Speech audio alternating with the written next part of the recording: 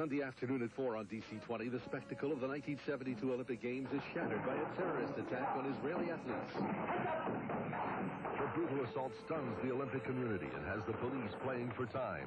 If the deadline is not met, the Zionist prisoners will be executed forthwith. A day that shook the world. He's still up. William Holden, Anthony Quayle, and Franco Nero star in 21 Hours at Munich. Sunday afternoon at 4 on DC-20, your super...